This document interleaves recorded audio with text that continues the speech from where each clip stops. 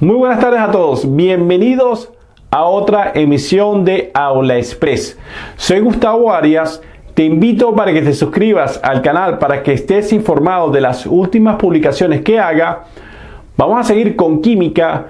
En esta ocasión voy a explicar la estructura de Lewis para el ion amonio. Además se le va a determinar la carga formal que tiene este ion. A continuación.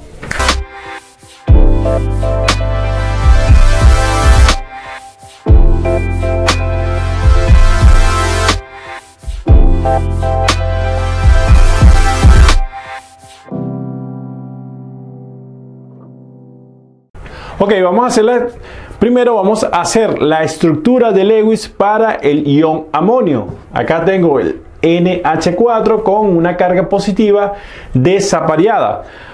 Vamos a revisar primero para dibujar la estructura de Lewis adecuada para esta molécula debemos conocer las configuraciones electrónicas del nitrógeno y el hidrógeno. Entonces vamos a colocar las configuraciones electrónicas que me quedarían.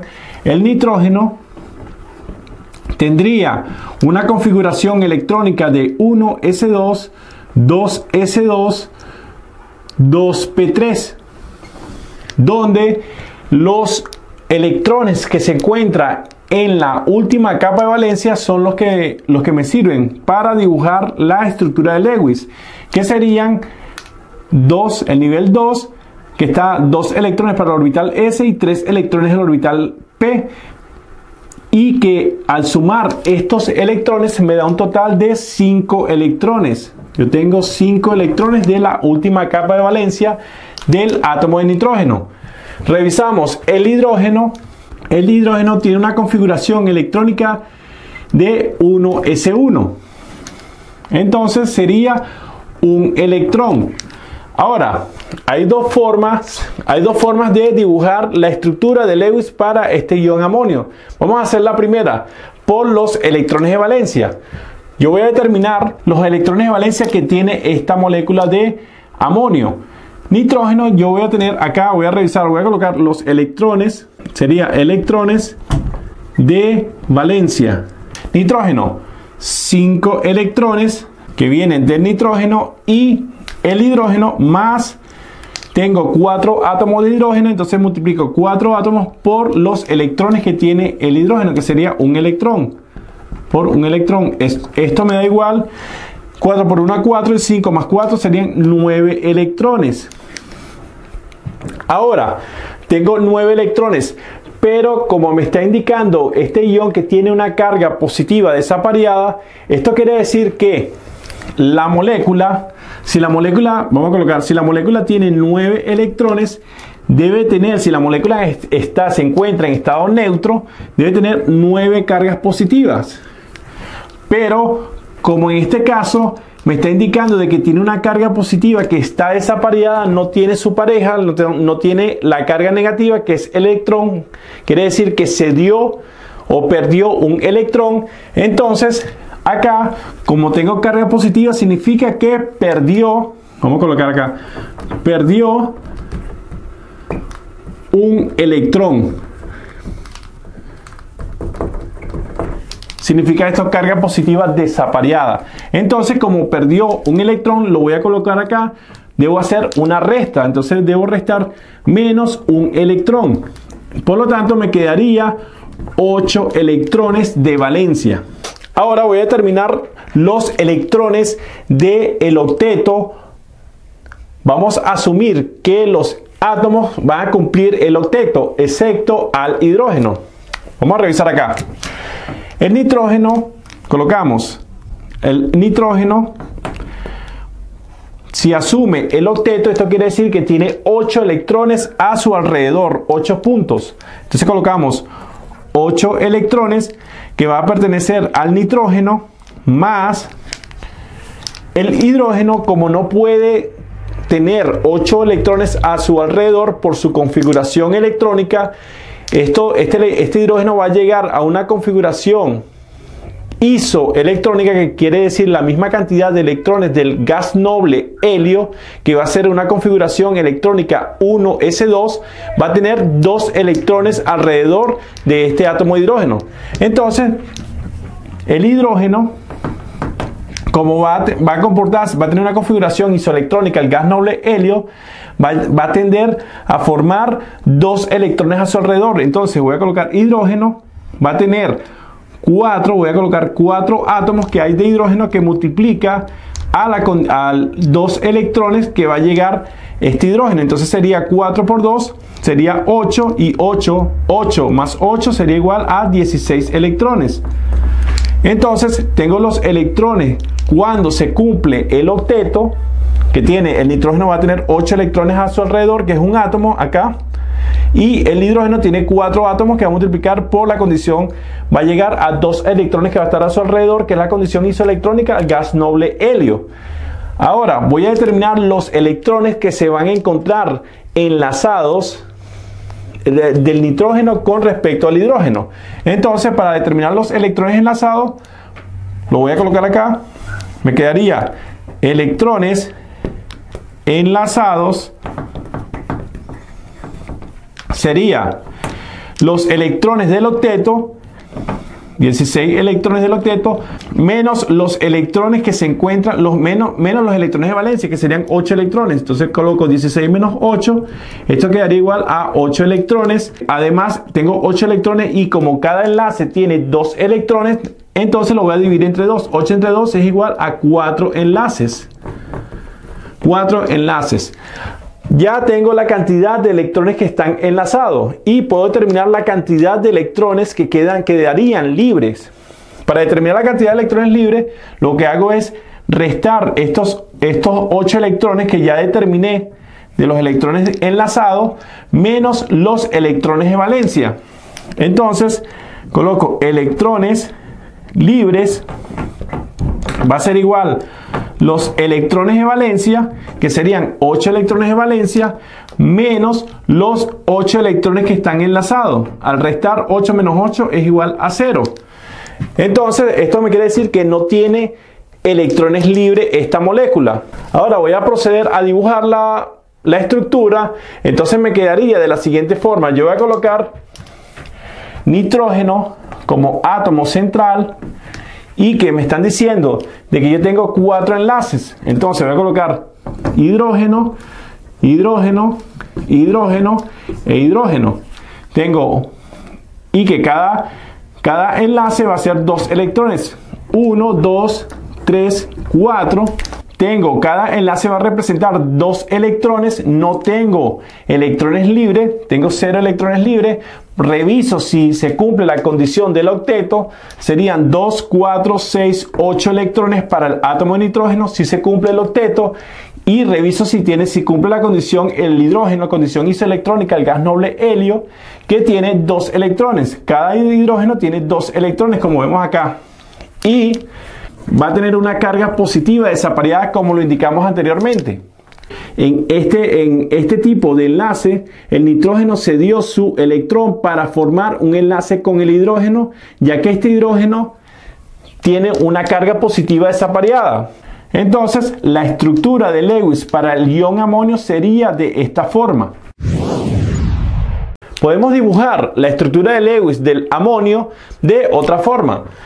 Podemos colocar el nitrógeno como átomo central, donde voy a colocar los electrones que tiene dicho nitrógeno en la última capa de valencia, que serían 5 electrones. Entonces lo voy a colocar como puntos. Entonces me quedaría 1, voy a colocar acá un electrón, 2, 3, 4 y 5 electrones que tiene alrededor el átomo de nitrógeno. Estos electrones son los electrones que se encuentran en la última capa de valencia, que son 5 electrones. Ahora, el hidrógeno yo sé que tiene un electrón, entonces voy a colocar hidrógeno, va a tener un punto, hidrógeno, va a tener un punto acá, hidrógeno va a tener un punto. Voy a colocar como el hidrógeno se va, van a compartir, estos electrones se van a compartir un enlace covalente, me quedaría el enlace acá. tengo hidrógeno, este se va a formar un enlace y acá sería un enlace. Yo tengo acá la estructura, como vemos acá, tengo la estructura de Lewis para el amoníaco. Ahora, ¿qué va a ocurrir acá? Nos preguntamos por qué un hidrógeno en este ion amonio va a tener una carga positiva desapareada. Esto viene de la reacción del amoníaco cuando se está disuelto en agua para producir amonio.